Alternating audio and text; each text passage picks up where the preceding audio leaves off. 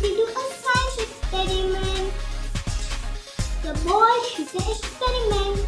It is based on the elasticity of rubber. So let's start. Before starting it, I want to tell you the things we need to do this experiment.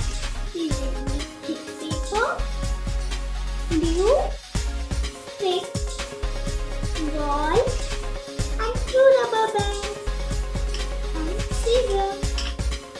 Let's start. First we have to roll the paper and then glue it like the one I have done before.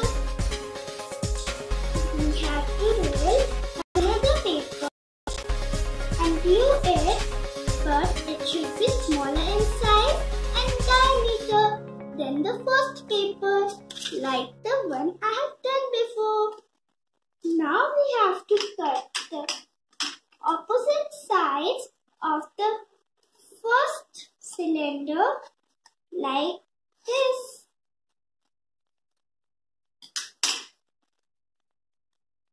Now we have to make two holes in the smaller cylinder and then put the stick inside it. Now we have to put the smaller cylinder in the bigger cylinder and then we have to put the rubber like this.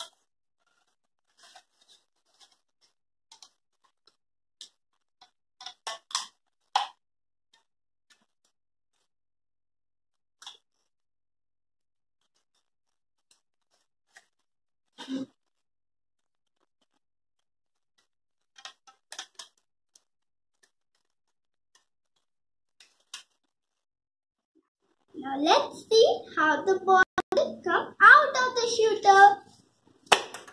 Ooh, the ball has come out of the shooter.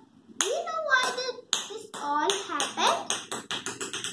Wait, I'll tell you.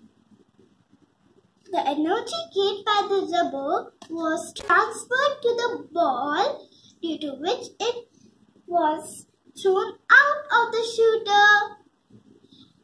So friends, you can also do this experiment at home. Enjoy this experiment. Thank you. Stay home, stay safe.